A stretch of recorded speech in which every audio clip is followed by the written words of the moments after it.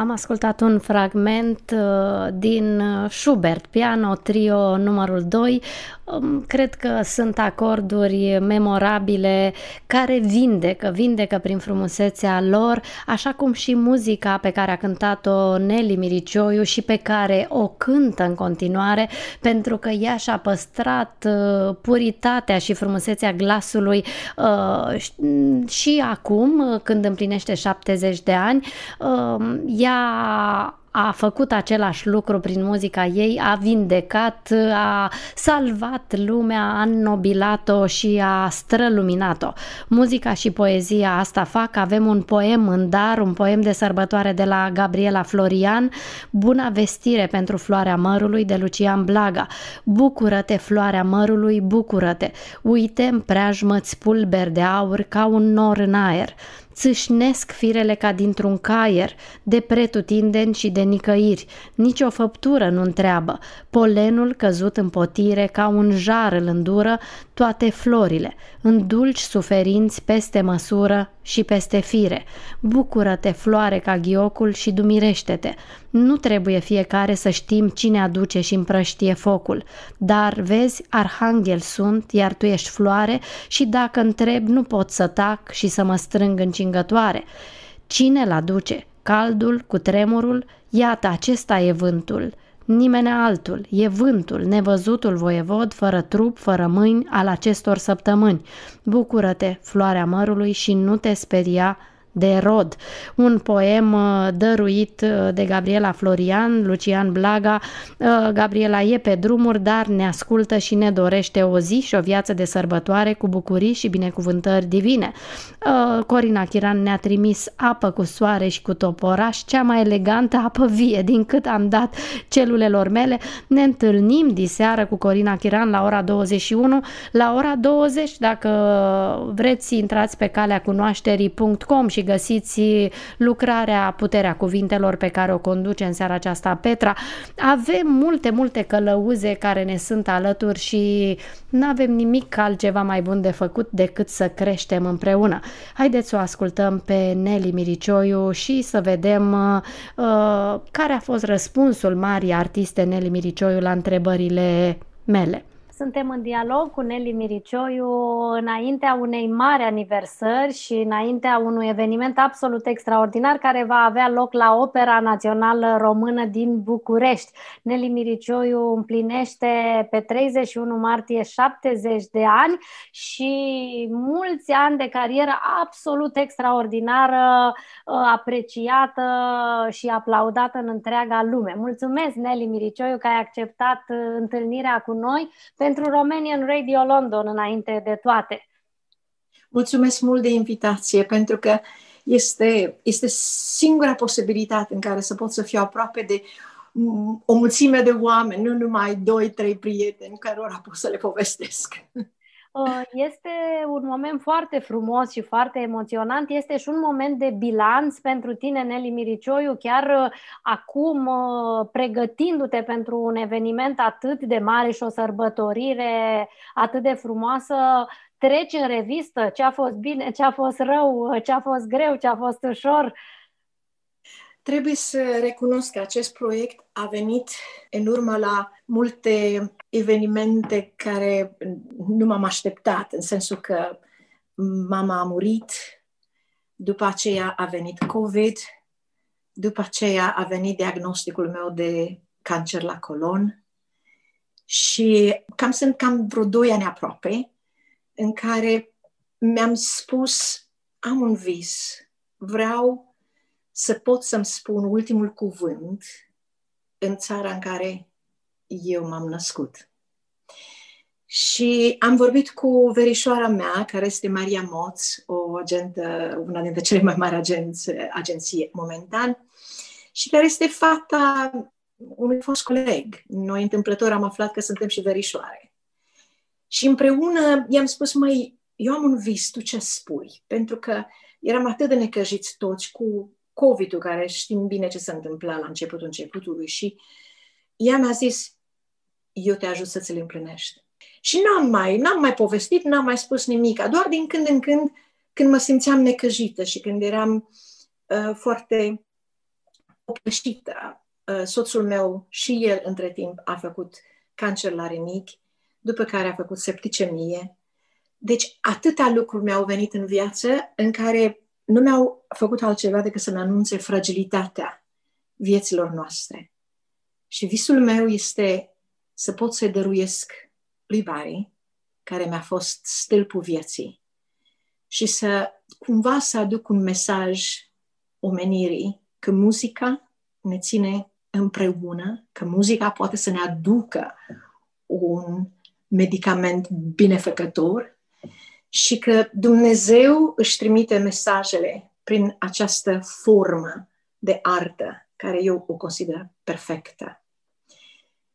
Și sper că acest mesaj să poată fi auzit de publicul care vine și să sperăm că toate evenimentele care sunt acum în jurul nostru și care nu, nu ne încurajează foarte mult, dar totuși o zi de naștere înseamnă mare lucru și doresc, doresc ca oamenii să poată să se uite și la viețile lor, care sunt importante, și să împreună să mulțumim lui Dumnezeu că suntem în viață și dacă putem să ajutăm, să ajutăm și să continuăm să menținem această forță, această energie care să ne faciliteze nouă modalitatea de a ajuta pe cei în nevoie îi ajutăm pe cei în nevoie, ne ajutăm și pe noi înșine, aducând frumusețe în viața noastră. Așa ați reușit să treceți amândoi uh, peste greutățile din ultima vreme,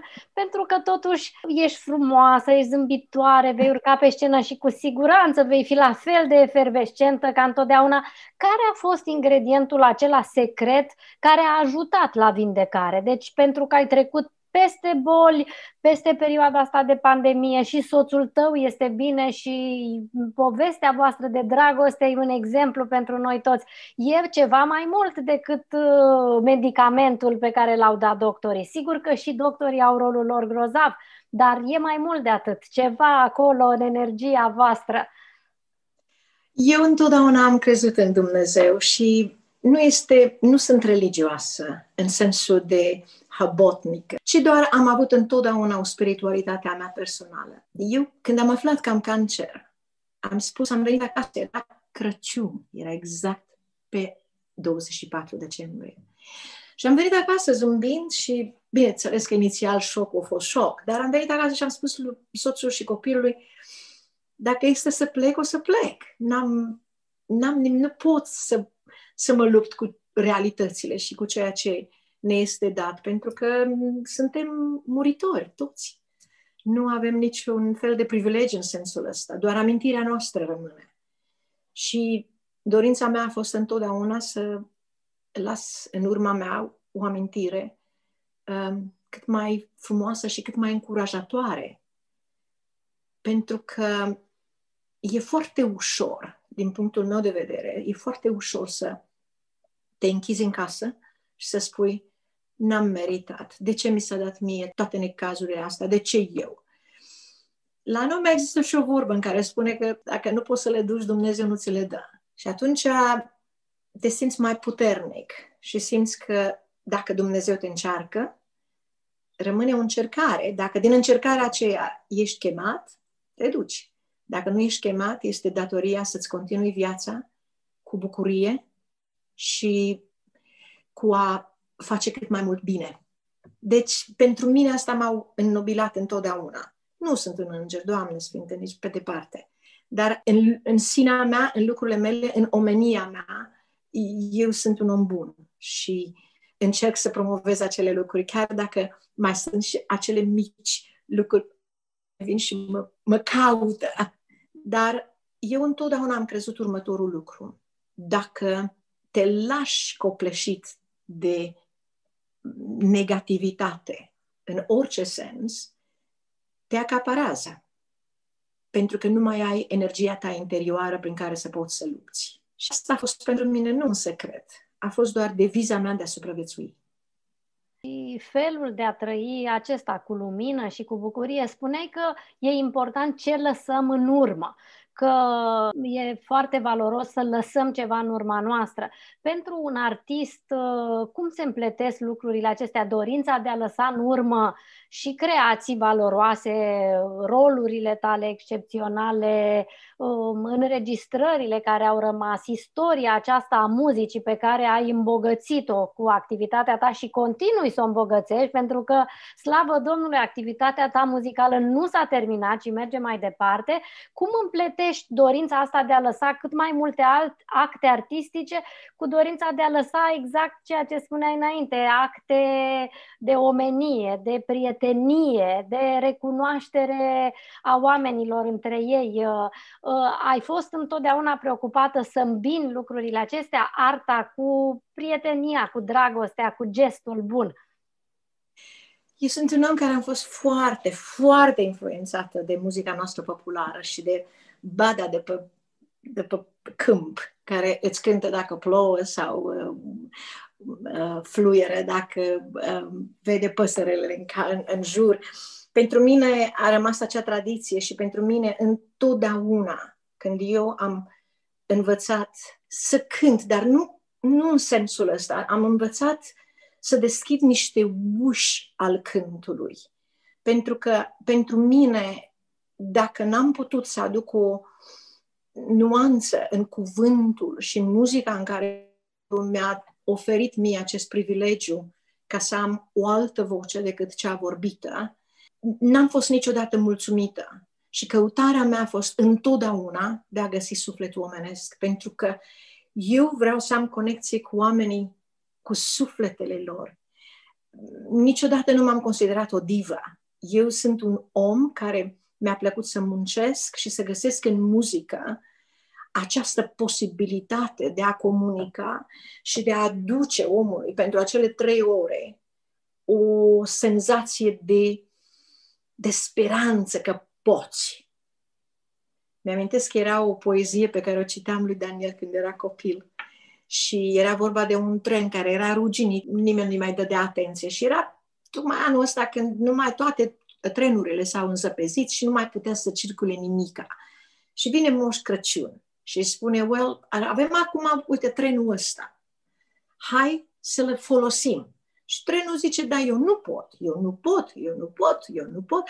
Și Moș Crăciun zice, ia încearcă să te pui pe mișcare și să vedem cum iese. Și trenul face, eu nu pot, eu nu pot, eu nu pot, eu nu pot, eu pot, eu pot, eu pot, yay!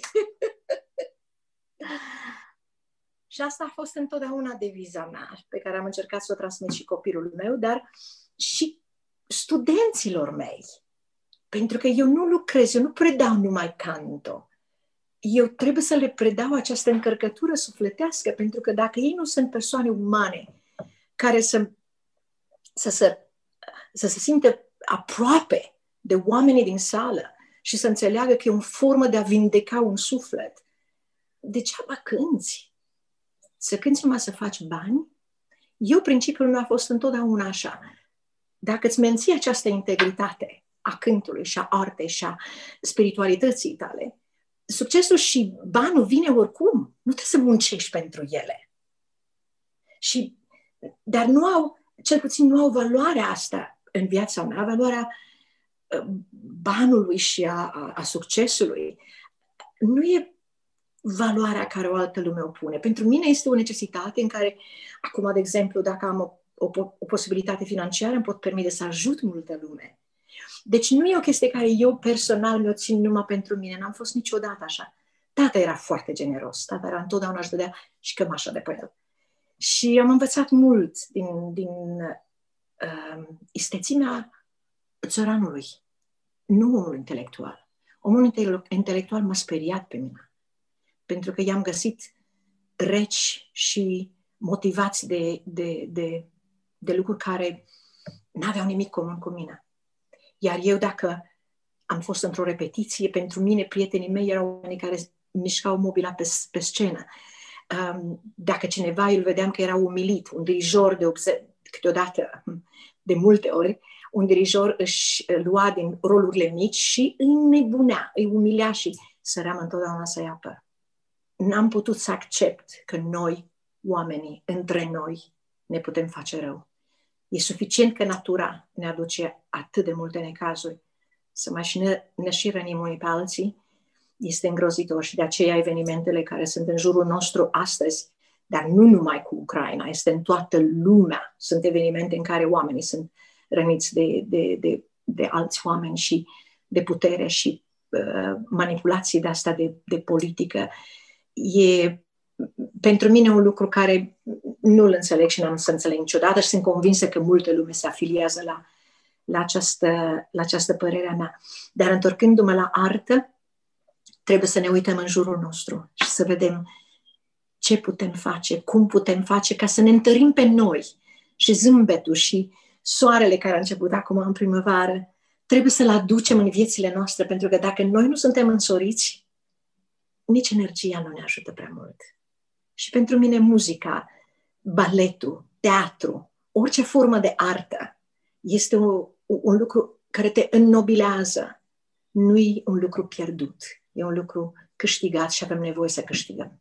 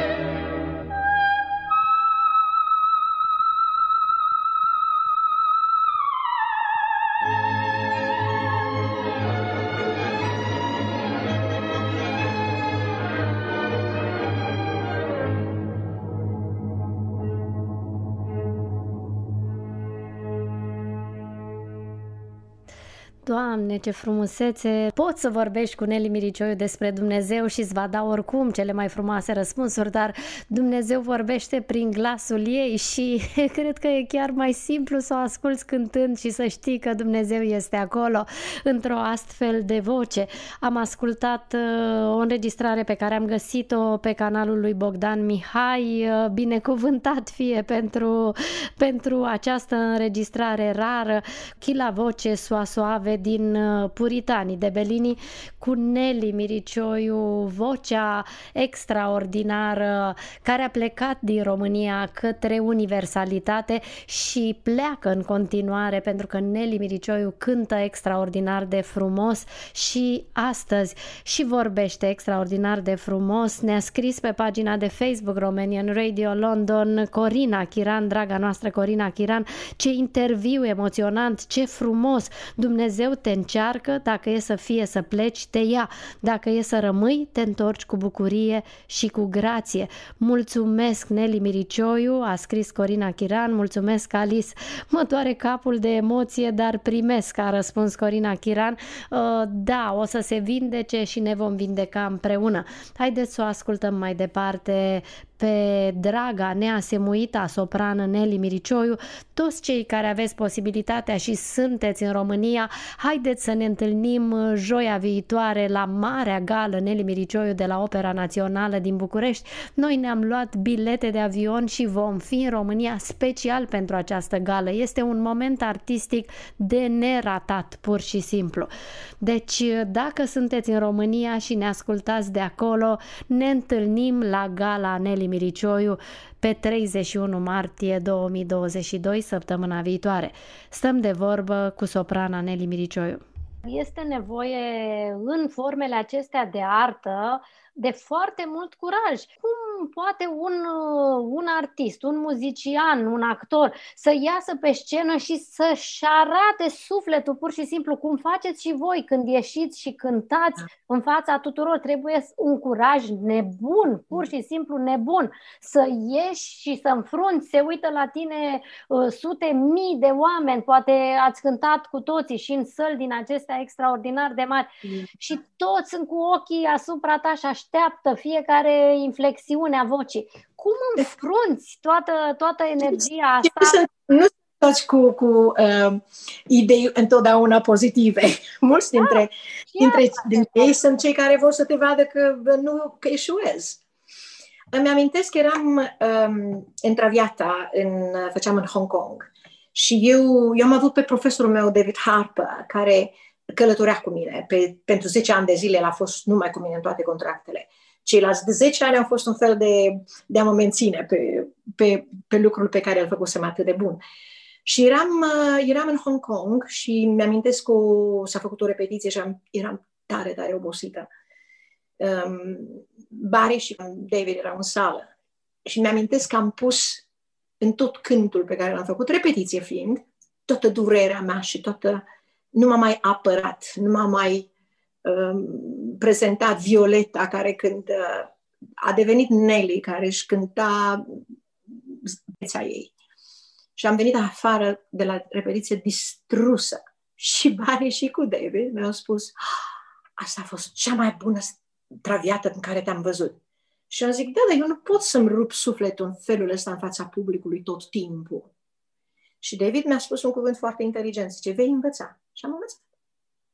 Am învățat că nu pot să mint când mă, mă urc pe această scenă. Pentru că datoria mea este să fiu sinceră și din fericire sau din nefericire, depinde cum vrei să te uiți la lucrurile astea, am avut atât de multe evenimente în viața mea, uh, și triste și, și bucuroase, de care mă pot conecta când cânt, ca să îmi mențin această sinceritate, să nu prezint oamenilor la o formă falsă.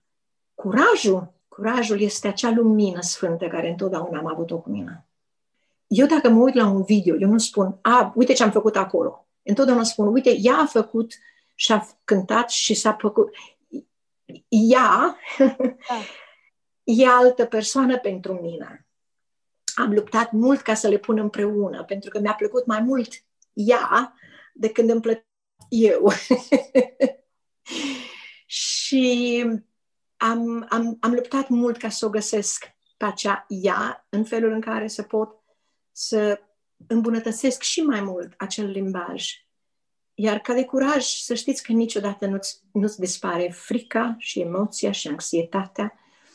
De aceea, un artist are nevoie de foarte multă înțelegere în jur și nu critică, și nu uh, umilințe, și nu... A critica pe cineva e foarte ușor. A-l ajuta e mai greu. Și atunci e mai bine ca omul să lupte să ajute. Poate că planeta mea, planeta noastră, poate deveni mai pozitivă dacă fiecare din noi am învățat să ne îndepărtăm de acele lucruri în care nu mai strigăte și nu mai umilințe și nu mai n-ai făcut bine asta, nu vezi, dar de, de ce ai pus, de ce ai făcut? E atâta, e atâta reavoință într-un fel. Mi-amintesc că aveam noi un proverb, un proverb în care spunea um, dacă negrești pe altul, nu te poți albi pe tine. Și asta pentru mine e un cuvânt foarte mare. Pentru că a critica și mai ales oamenii care sunt un pic mai, mai cu vârstă și cu experiență, ei consideră că vârsta și experiența le dă privilegiu să-i umilească pe cei tineri. Și cei tineri nu învață și văd destule cazuri în jurul meu. Îmi pare rău și încerc, din nou încerc în, în noua generație să aduc, să aduc lucrul ăsta, pentru că de acolo vine curajul. De la faptul că omul din jur îți vorbește cu respect. Avem nevoie de acest respect și dragoste. N-ai, de, nu sunt motive în lumea asta să nu respecti, respecti pe cineva și să nu ai dragoste. Un lucru foarte pozitiv, am văzut pe, uh, în Facebook Schwarzenegger, care a făcut un discurs foarte interesant la adresa poporului rus.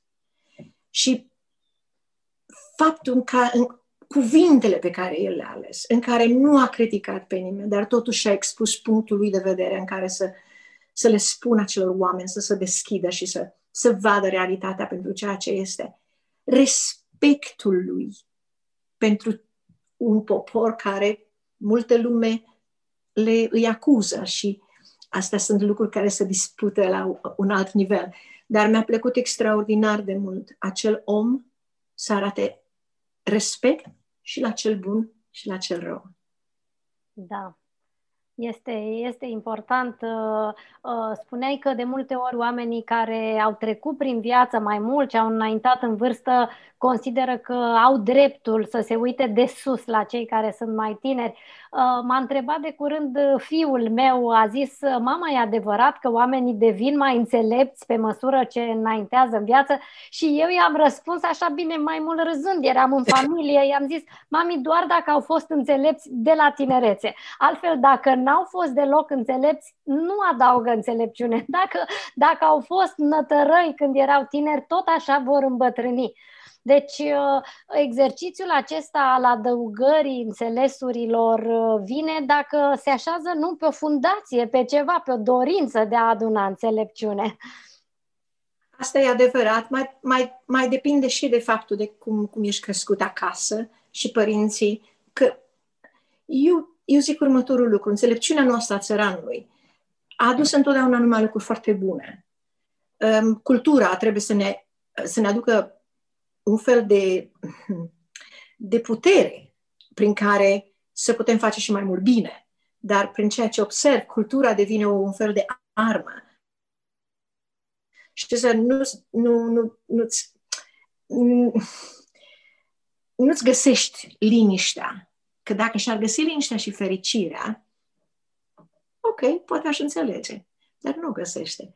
Așa că băiatul tău are dreptate și tu ai avut dreptate să-i spui ce ai spus, pentru că e și de acasă foarte mult. Din nou, întotdeauna am să le recomand la toți cei tineri să se uite la tradițiile noastre, să se uite la ceea ce am, am fost crescuți de când, de când eram copii și ne, ne spunea să spunem să rămână la un străin pe stradă, sau dacă, dacă vedeai un, un cățeluș să nu-i dai cu piciorul, că nu e păcat de Dumnezeu, să le iei în brațe și să... Sau dacă vezi un copil care nu e atât de uh, norocos ca să fie cu toate capacitățile, să nu râzi, să nu-ți bați joc. Și sunt atâtea învățăminte și religia, într-un fel, vă spun, eu nu sunt habotnică, nu sunt religioasă în sensul ăsta. Dar dacă religia mă învață ca să fiu om de omenie, deschid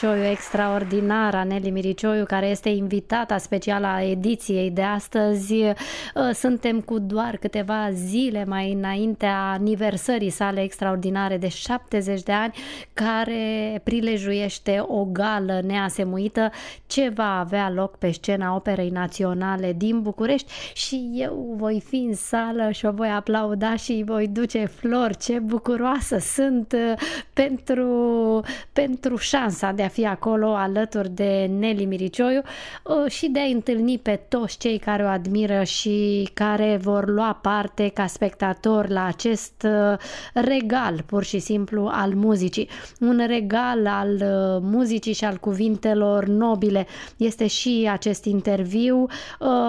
Am primit mai multe mesaje, câtă modestie, autenticitate și forță în acest interviu, ne scrie Milena Prună, poeta noastră care chiar dă strălucire fiecărui cuvânt uh, pe care îl spune. Corina Chiran, draga noastră, care ne ascultă uh, de la Pucioasa și care este conectată cu noi în toate temele de discuție întotdeauna, spune nu cred că se rupe sufletul pe scenă, se rupe trupul, dar sufletul primește de mâncare pe scenă. Apoi avem de respectat trupul, de dat pauze minții ca să putem ține pasul cu fericirea. Ce frumos, Corina Chiran, să ținem pasul cu fericirea, atingerea prin muzica grației divine.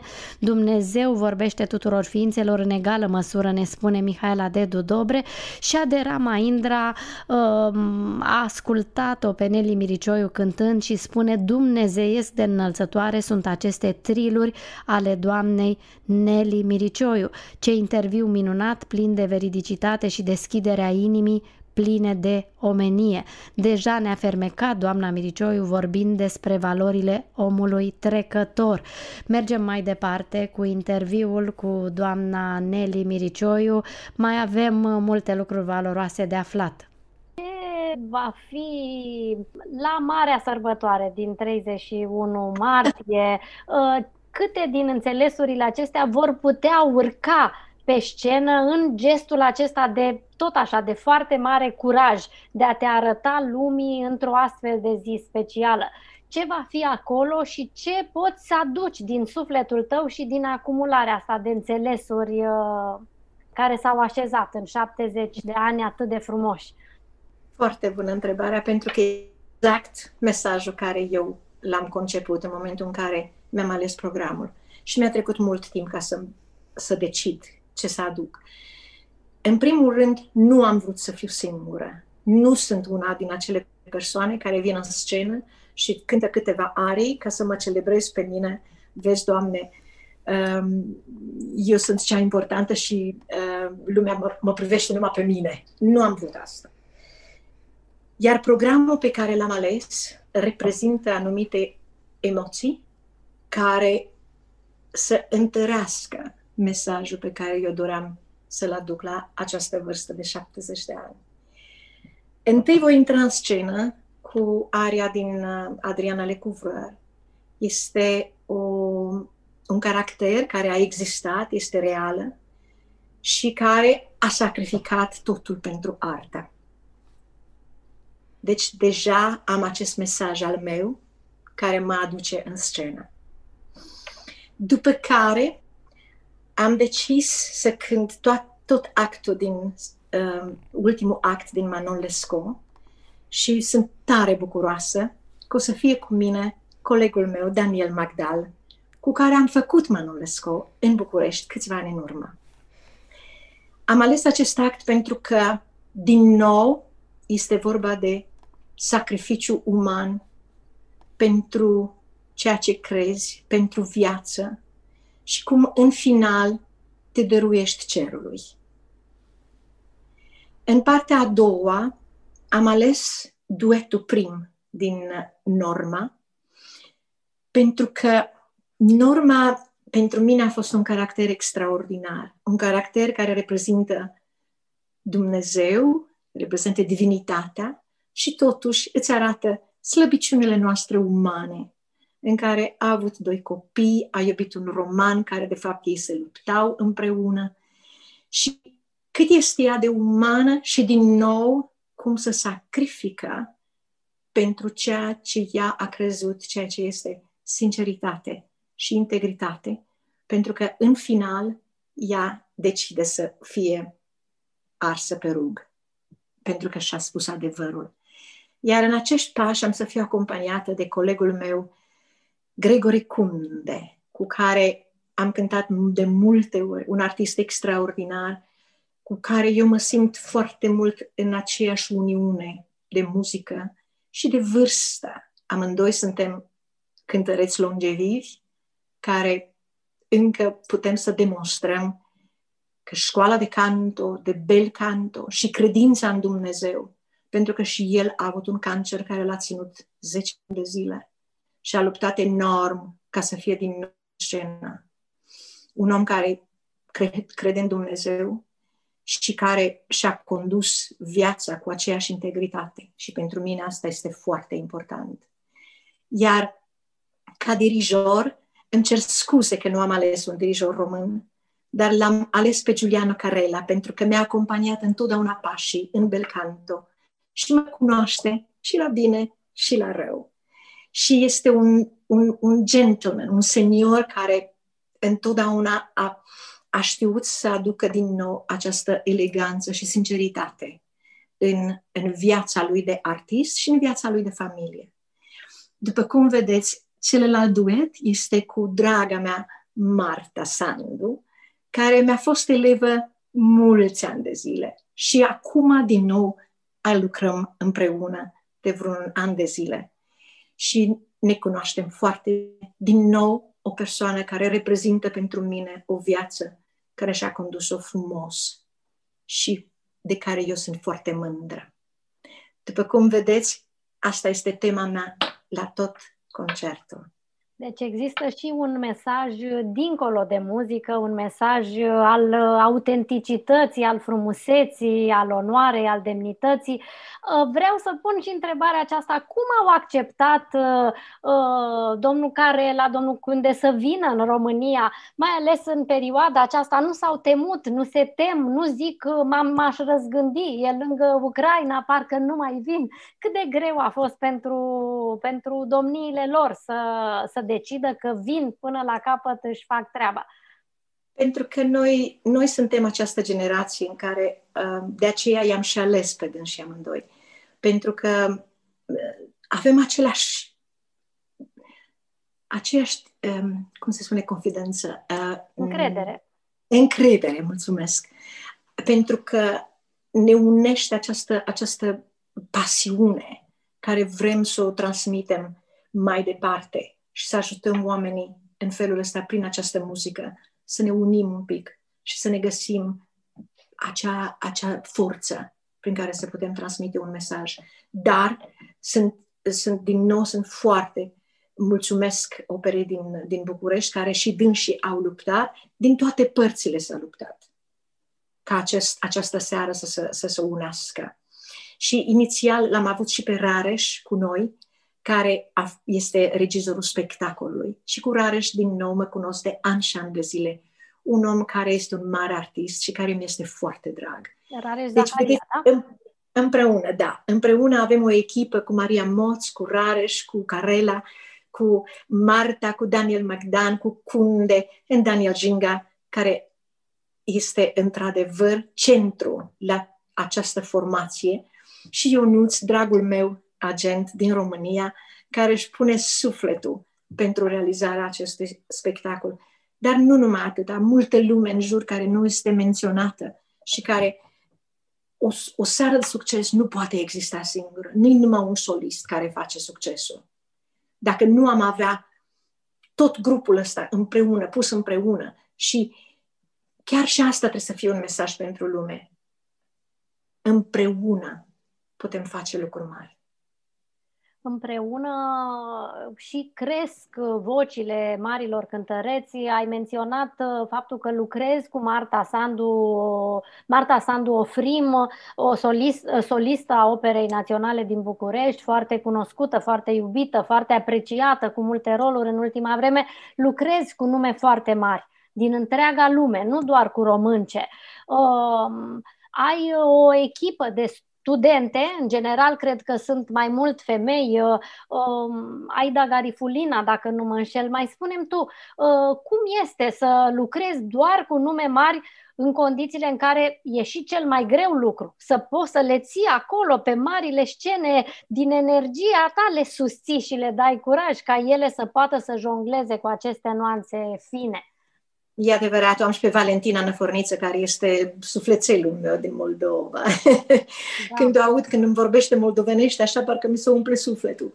Uh, am multe cântărețe care sunt într-adevăr în carieră și care uh, nu-i numai energia, dar fiecare se îmbolnăvește, COVID, am făcut uh, un virus, am făcut... și trebuie să-i ajut, să-i readuce înapoi. Nu e un lucru ușor să fii un profesor, dar întotdeauna, întotdeauna, când îi ajut pe ei, mă ajut pe mine. Pentru că îmi amintesc cum eram eu și îmi amintesc lucrurile care mie nu îmi plăceau când oamenii me le făceau mie. Și atunci încerc să le explic lor ca să nu se lase coborâte de, de dărâmate, de, de anumite uh, lucruri din viață și oameni, de, de câteodată nu mai stau de vorbă cu ei și bineînțeles că nu iau bani dar nu mă vorbesc cu ei ca să pot să-i aduc la acea putere sufletească, să fie puternici. Pentru că al învăța pe unul să cânte numai, în primul rând nu sunt capabilă. Eu nu cred într-o tehnică care te face să cânți fără să ai un suflet. Nu cred. Drept care pentru mine este mult mai important să-l am pe omul din fața mea să înțeleagă care e menirea lui, de ce e aici. Și cine se prinde în mine, se prinde de mine. Cine nu, se filtrează și nu ne mai vedem. Niciun fel de ranchiună. Suntem, de fapt, am, am creat un fel de regulă în care uh, fiecare nou student, ceea ce trebuie, trebuie să recunosc că acum secretara mea mi-a spus deja să nu mai pun pe nimeni nou, că nu mai avem loc. Uh, deja există o listă de, de, de așteptare. Dar am o regulă. În primul rând este audiție, după care o lună de zile facem lecții, dar numai de a încerca. Să vedem dacă ne înțelegem una cu alta și dacă putem, dacă pot să o ajut. Pentru că e foarte important ca să ai un artist cu care să vibrezi în, același, în aceeași manieră. Și asta nu înseamnă că eu vreau credulitate sau că vreau cineva să mă asculte ca pe la Meca. Din contra, suntem doi, îmi spui tu ce simți și eu îți spun ori că ai dreptate, ori îți spun încearcă pentru o perioadă de timp, încearcă formula mea și să vedem cum merge. Și asta este, pentru mine, asta e cheia succesului, este să fii uman și să-ți folosești cunoștințele în forma cea mai frumoasă și pozitivă pentru fiecare dintre ei. Fiindcă fiecare își are o altă personalitate și gâtul răspunde la lucrurile acelea negative, la lucrurile care ți s-a... Și eu le știu și știu psihologia lucrului și um, în felul ăsta le creezi o, o fotografie reală. Nu vezi, Doamne, du-te acolo pe scenă ca să vezi că totul funcționează. Nu e adevărat, nu funcționează totul chiar așa, ca prin bas. Dar ceea ce învăț eu este să, ia, să accepte ei înșiși și cu cele mai slăbuți, mai vulnerabile și cu succese. Pentru că în felul ăsta viața e făcută. Și ok, hai să zicem că n-ai cântat nota aia foarte bine. În loc să mă procrastinez pentru că n-am făcut o notă bună, spune ce frumos am făcut pe celelalte note. De vedeți, eu, pentru mine e o filozofie întreagă faptul de a cânta în carieră, dar și faptul de a fi un profesor. Este o responsabilitate enormă ca să ai pe mână un tânăr care este în formare. Categoric, e o muncă foarte grea uh, și care are rezultate extraordinare. Asta aș fi vrut și să întreb. Uh, ce face diferența? Ce se întâmplă de unii reușesc să ajungă acolo sus de tot, unde e loc pentru foarte puțini, acolo unde ai ajuns tu însă, pe cele mai mari scene ale lumii, în cele mai grele roluri și în, în sălile unde sunt cei mai fini cunoscători ai muzicii, sunt melomanii întregii lumi. Ce face diferența? De ce unii ajung acolo și alții nu ajung acolo? Unde este treapta aceea pe care unii reușesc să urce și ceilalți nu? E, este și o loterie, bineînțeles. Nu, nu pot să spun că e mâna lui Dumnezeu, e, e mâna, lui, mâna destinului. Uh, asta nu înseamnă că trebuie să cedești să spui asta e destinul meu, asta mi-a dat lupți, lupți până când îți da întotdeauna, dacă am avut un student care, hai să zicem, nu a făcut mult, câteva audiții, nu i-a mers. Eu întotdeauna am spus, dă-ți un termen de timp și fă absolut totul, fără niciun fel de, uh, de, de amărăciune sau de frustrare, dar dă tot ce poți pentru, acest, pentru aceste audiții care vin, dar dă-ți acest termen. Și dacă nu reușești în termenul acesta, pe urmă poți să iei o altă decizie. Dar nu te închide în tine, doar pentru că n-ai făcut, uh, n-ai ieșit la audiții. Mi-amintesc uh, John Sutherland. Ea a făcut au, patru audiții în Covent Garden și n-au luat-o. A durat. A durat. Eu personal eram când eram în România cu, cu valiza după mine. Am mers în toată Europa pentru audiții. Nu m-a luat nimeni. A fost să fie în alt timp. Dar încă un lucru vreau să vă spun o studentă de-a mea, de curând acum, mi-a trimis uh, o întrebare. Zice, acum știm arile pe care le-am ales, bine știi, știm ce, ce cânt, crezi că am să pot să strălucesc? Și răspunsul meu a fost, bineînțeles că vei străluci prin muzică, dar cea mai bună strălucire vine din interiorul tău. Te perfecționezi, te șlefuiești, uh, faci tot ce poți pentru voce, dar la urmă trebuie să cânti, să-ți cânti sufletul. Dacă te duci ca un mecanism acolo, nimeni nu te vede. Trebuie să fii diferent, mai ales în, în zilele de astăzi, când este așa o, o rivalitate peste tot și, și nu numai atâta, dar cu acest COVID, sunt, condițiile sunt mult mai dificile acum. Oamenii nu mai îndrăznesc să pună programări în, în teatru. Dar asta nu înseamnă că viața s-a oprit continuă, lumea continuă să se adaptează pe parcurs. Și niciodată nu știi de unde vine lumina. Dacă într-adevăr iubești ce faci, continuă și încearcă să-ți, găsești, să-ți dai o limită, pentru că poate, poate că nu ești chiar atât de bun cât îți imaginezi. Pentru că, într-adevăr, seria și extraordinar de bun. Nu poți numai pe bază de Dumnezeu și talent. Lucrul este enorm. Enorm este. Bucățică cu bucățică. Mi-amintesc Aida, că ai menționat-o pe Aida. Odată mi-a spus, oh, dacă aș fi știut că e așa de greu, nu mai făceam. Zic, ești convinsă? și bineînțeles că i-a venit gustul. Și face acum, acum ea trage de mine. Păi dar nu cântăm, nu facem, păi cum? N-am cântat de două zile. Da. Deci, deci totul e un tot, e o combinație. Nu există reguli, nu cred în reguli. Eu doar cred în... Am foarte, sunt foarte realistă și sunt foarte cu picioarele pe pământ. Și eu cred în moment. Dacă momentul ăsta mi s-a dat ca eu să am un concert, pentru acest moment, eu am să lucrez până când cad. Și această pasiune de a lucra, această iubire pentru muncă, pentru mine asta e mult mai important decât un succes sau un lucru van, un lucru fără uh, un fel de vitrină care are strălucire, dar nu are nimic, de totul gol în interior. Și după aceea, bineînțeles, fără ajutorul lui Dumnezeu, nimic nu se face. Niciodată n-am crezut ceva în viața mea că nu s-a făcut fără ajutorul lui Dumnezeu. Da. Uh, cu ajutorul lui Dumnezeu se va face și Marea Sărbătoare din 31 martie.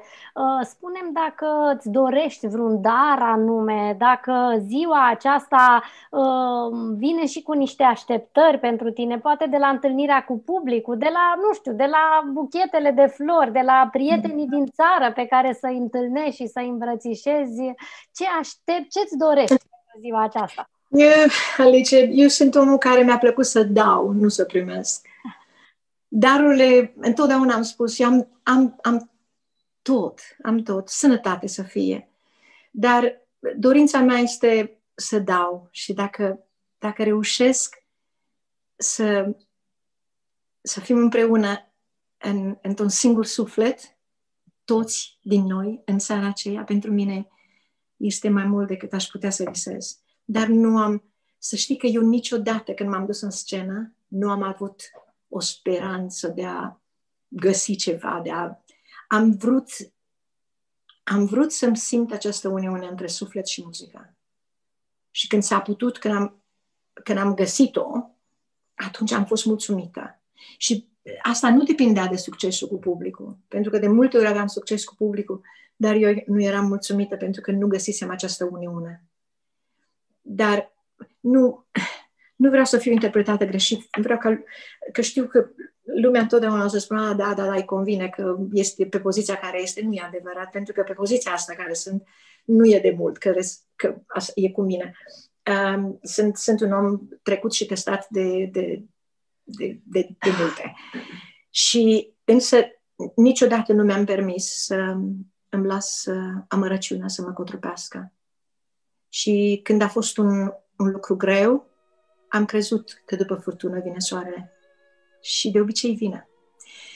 Acest soare, dacă pot să-l aduc prin muzică, în seara aceea, pentru mine va fi fericire de plină. Așa o să fie, sunt sigură. Mulțumesc uh, din inimă, Nelly Miricioiu. Ne vedem pe 31 martie în uh, Opera Națională din București. Să te aplaudăm și să fim acolo la Marea Sărbătoare. Nu putem lipsi. Mulțumesc pentru întrebările acestea splendide și care mi-au oferit ca să, să, mă, să mă fac cunoscută și altfel decât doar o cântăreață. Mama spunea guristă. și mulțumesc mult de transmisia ta pentru că este într-adevăr de suflet și dragoste, așa cum, cum, e, cum e menirea. Și abia aștept să ne vedem cu toții acolo, în, în București, în această seară minunată.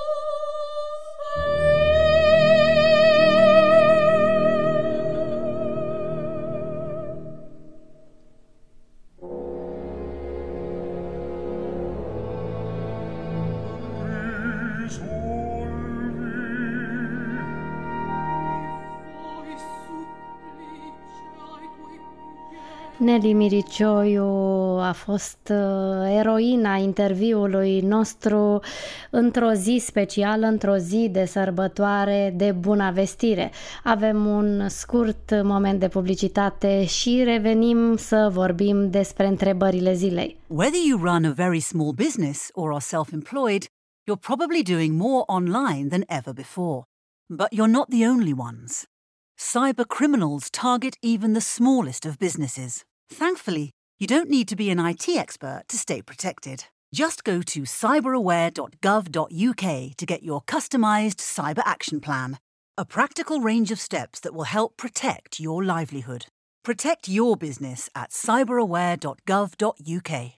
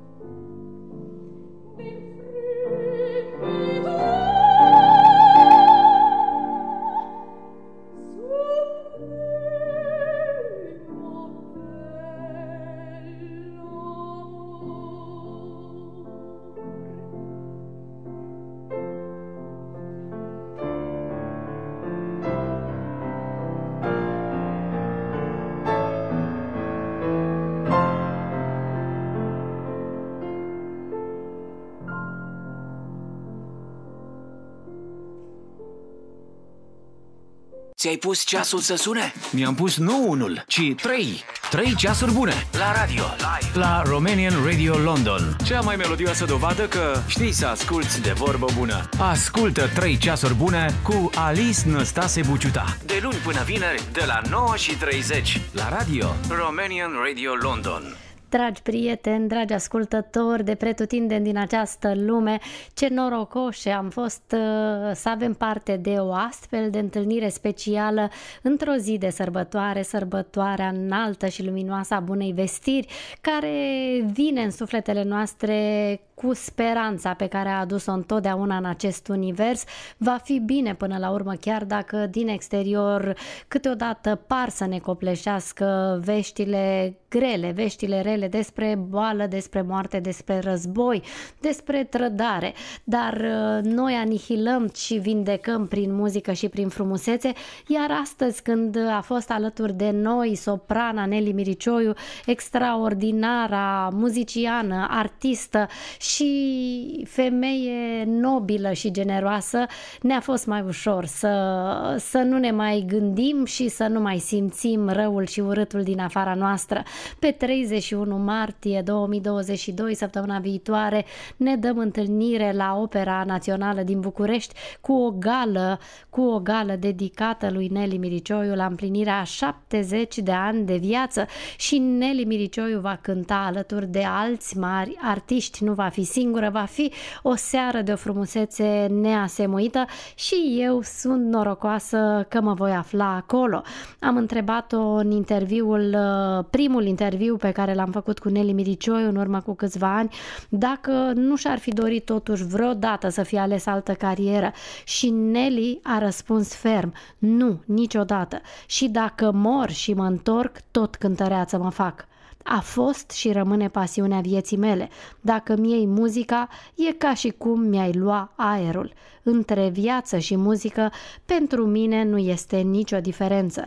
Acesta a fost și titlul acelui interviu pe care o să-l postez pe pagina de Facebook Romanian Radio London, pe care vă invit să o urmăriți și să o distribuiți. Și ne auzim luni negreșit la 9 și jumătate ora Angliei și 11 și jumătate ora României. Vă mulțumesc din inimă că ați fost alături de mine. Vă doresc un weekend plin de bucurie și de relaxare, de întâlniri cu cei dragi și astăzi o zi sfântă de sărbătoare care să vă bucure și să vă aducă strălucirea dumnezeiască în inimă. Asta face și Nelly Miricioiu prin cântul ei. Am uh, o arie celebră din La Traviata pentru finalul nostru, cântată de glasul extraordinar al invitatei noastre speciale, Nelly Miricioiu.